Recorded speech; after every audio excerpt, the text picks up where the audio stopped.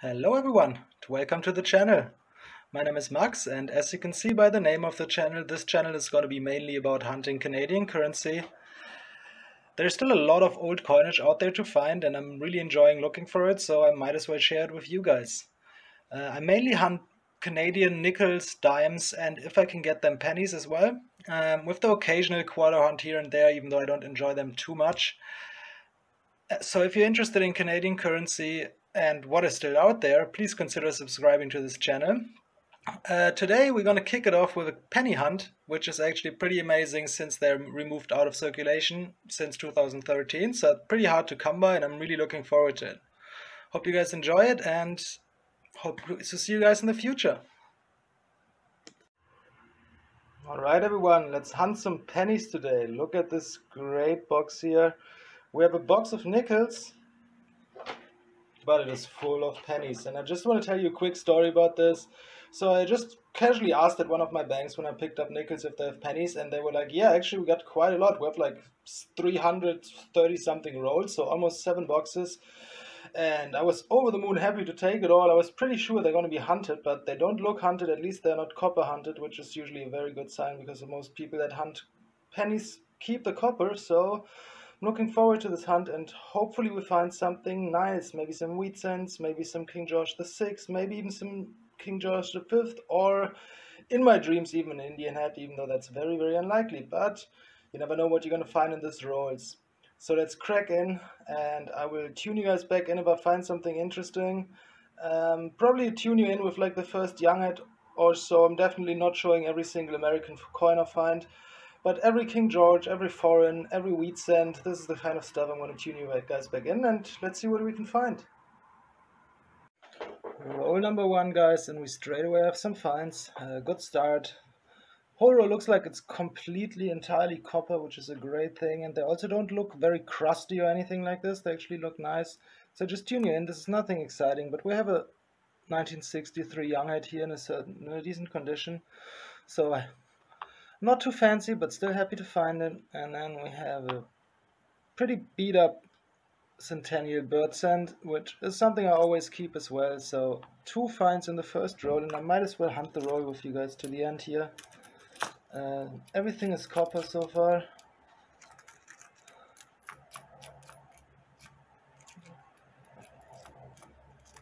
And here we have another young head. So we definitely have some old coinage here, but young heads are pretty common to find, so I'm not getting too excited about that.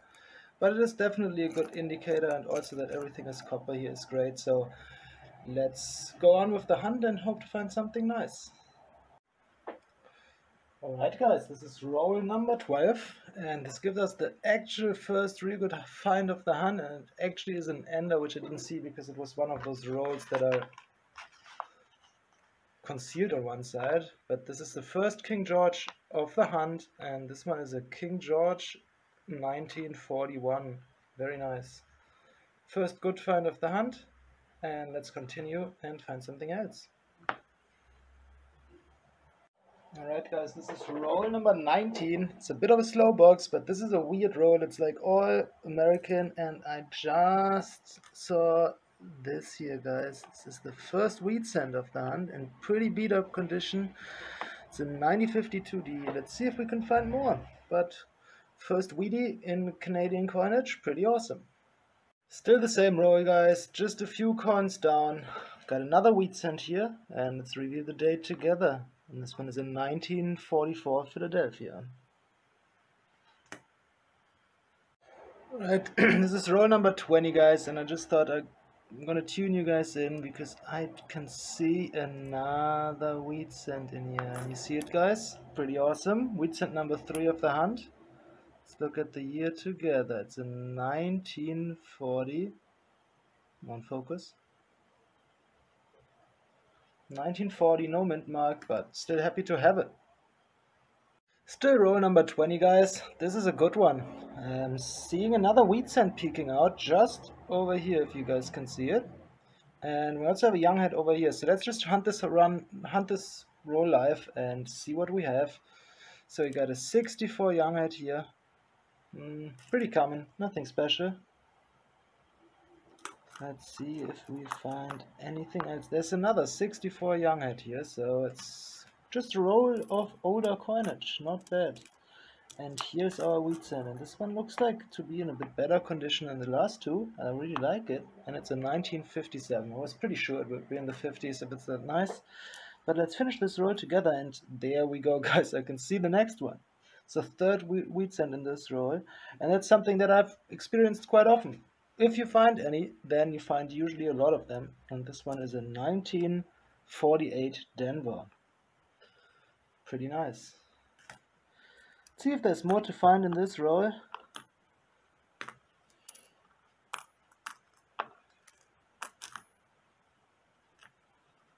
Oh, Jesus, guys. You see that? There's another one. And this one looks a bit more beat up. But it's always hard to tell how old they are. I had some really pretty ones that are old and some really bad ones that are not so old. This one is a 1950S. Yeah, I like to find an S mint mark. Find a lot of these usually. And I don't see anything else here, but you never know until you go to the end, because sometimes you even get some Wheaties with some luster here, so you never know. But that's it for this roll, guys. Uh, thank you guys so much for watching, and gonna continue the hunt. Okay guys, roll number 22. Uh, and we have the next wheat cent here. This is going to be wheat cent number 7 of this hunt, and we're just 22 rolls in, so that's pretty amazing. Can't complain about that. And this one is going to be a 55 Philadelphia. Uh, not the most rare coin, but still nice to have. Okay guys, this is roll number 25, and I'm very excited now because this is by far the best find of the hunt in my opinion so far because I don't find this often. So I started looking through this roll and I saw this that looked like one of those batteries that you sometimes find in dime or nickel rolls, but it is actually looks like a blank planchet to me, guys. Now if you can see it, this is really cool. Uh, never found one like of those before. some reason it doesn't like it. The camera doesn't like it. I don't know why I put it there. But it's definitely a blank planchet and I'm pretty sure it is actually a US cent. Like if you actually put the US cent next to it, it really, really much looks like the same size. But if we put a newer Canadian cent next to it, make a little sandwich here just quickly. You can kind of see this is most likely going to be a US blank planchet and I'm really excited to find it. Never had something like this before. Um, if you guys know anything more about it, uh, which type of planchet it is, and so on, uh, let me know in the comments. I would be really happy to get some more information on this. Row number 26, and if you guys can see it, right over here is wheat cent number 8 of the hunt. So that's pretty nice. 8 wheat cents hunting Canadian rolls, not bad. Let's see if this one is a bit older than the other ones. It's 1945. Pretty decent. Still happy to have it. I'm still amazed how many of those you can find in Canadian coinage. Um, and I'm really glad and appreciated appreciative and grateful to have it guys. Sorry for my stumbling there with my voice sometimes. Still the same roll. I thought I'm done with the roll and the second coin to the last is the second King George we find in this hunt and it is a 1950 as you guys can see there. Beautiful coin, love finding those. Uh, very nice condition actually. Bit worse than it looks on camera but very happy about it. Super awesome find. Second King George of the hunt. Roll number 27 is going to give us wheat cent number 9 and it's going to be 1955 and it's pretty ugly on the reverse, but that's okay. Still happy to take it. Awesome find. 9 wheat cents in the box so far. Roll number 29 gives us our second Centennial bird cent. Pretty beat up this one as well. Interesting blue oxidation toning to it. And let's continue the hunt and see if we find more awesome stuff. Roll number 30, guys, and this is exactly the halfway point of the hunt, and we are gonna have a couple of more wheat cents here. I think we're at 9 so far. Yep, this is gonna be wheat cent number 10, and you can see wheat cent number 11 right here, so let's look at this one. It's a 56D in pretty decent shape. And uh, go two coins down, see what we have. This is 1944, and once we're at it, we might as well finish hunting this roll on camera. Why not? Um,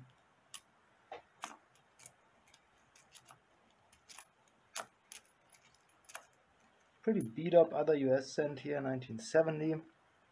I have one more candidate for like another wheat cent here. This is also predominantly copper, not much 2000s that I have to get out. This one looked kind of like another wheat cent. But there's nothing else in this row, guys. But two more wheat cents, which brings our total up to 11 at the halfway point of the hunt, which is very amazing. So I'm very, very happy. This is an amazing hunt so far. And let's hope that the second of the, of the box doesn't disappoint. Alright, guys. This is rolling number 35, so we're a little bit of a dry spell, but as you can see, we have our third centennial cent of the hunt, and it's definitely the best condition one so far. So happy about this one, guys. Always great to find those. Alright guys, roll number 40. Took us another 10 roll to have the next find, but this is a decent one. Have a other King George here. Pretty beat up condition. It's a 1950, but it's our third King George of the hunt, and I'm gladly taking it. Okay guys, roll 44 gives us another King George. An ender this time. It's also in pretty bad condition. Let's flip it over. It's a 1943.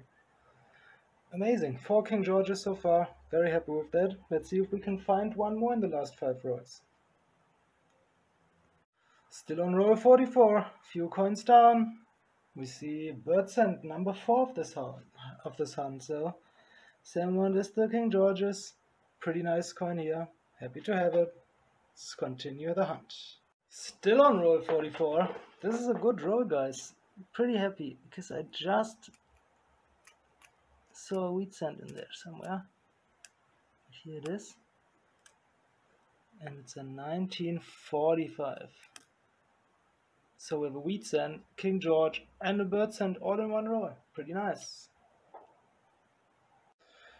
Yeah guys, the box is definitely heating up towards the end. This is roll number 46 and again we have a King George Ender, which is the second in a row and this one is also not in the greatest shape. Let's see over to see the date. It's 1951. So King George number 5 of the hunt.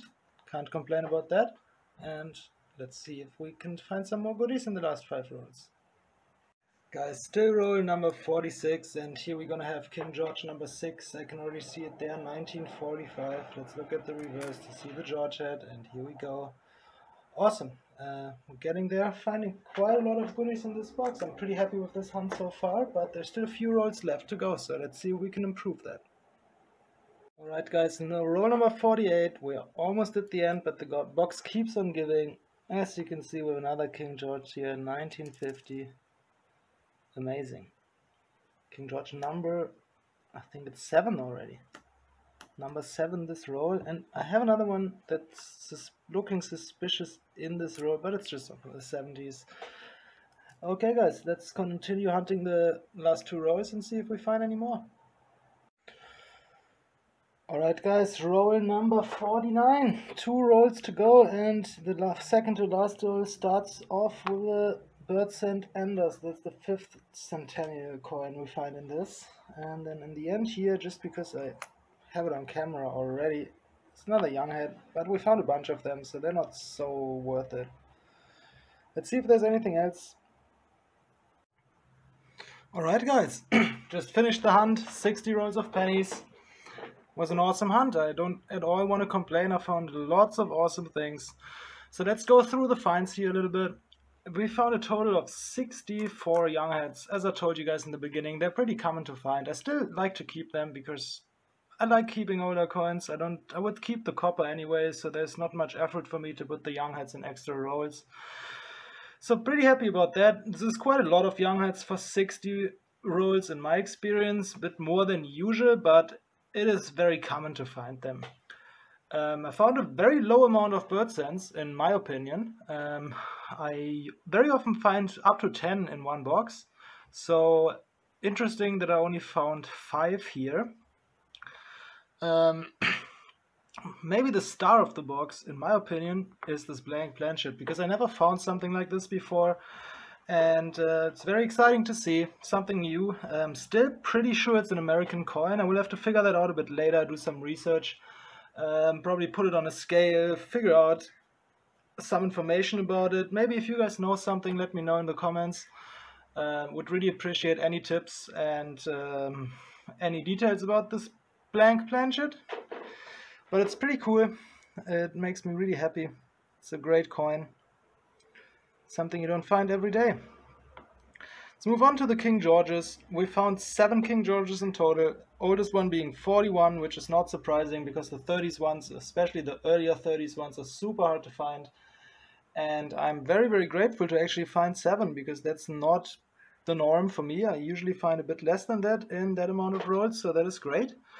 Um, I usually found a similar amount of wheat cents and King Georges to be precise, which is kind of surprising. You wouldn't expect finding that much older American currency here, but it is definitely the case. I've been finding them in almost every hunt. Uh, 41 is the oldest. We found three 1950s in total, and they're all in not really nice shape. Um, so I'm not so. I'm pretty sure there's not much value in them, but I still enjoy having them a lot, and it's very nice for me to like save this old coinage from actually getting melted down and getting destroyed by the alloy recovery program. So I prefer them being with me than being destroyed. Uh, let's go to the wheat cents. So we found one 1940, we found a 1943D, we found two 44s, two 45s, a 1950S, 1952D, two 1955s, 156D, 157. So the oldest one is 1940, so nothing really old in there. I have found older ones before, but still it has to be said, I found 12 wheat cents in basically a bit more than one box of pennies, and that's a great result. I can't complain. Uh, most American coin hunters average roughly 10 wheat cents per box of pennies in the US, so I think that's a pretty good result for finding it here in Canada. Um, if you guys enjoy this kind of content, uh, I will be uploading more. I apologize for the camera and for the, the settings so far. I'm just experimenting a little bit, but I might as well upload it and make you guys see what I find. But I'm sure I'm going to get a bit more professional in the future. Uh, but if you guys enjoy this content, enjoy talking about Canadian coins, enjoy looking at what I'm finding, please consider subscribing. I would really appreciate it. And leave a comment I'm gonna comment. I'm gonna answer every single comment. So I'm really, really happy to have uh, this conversation with you guys, and I hope you're gonna tune in to cat hunting in the future to see some other awesome coin hunts. All right, guys. I really appreciate your time and have a good one.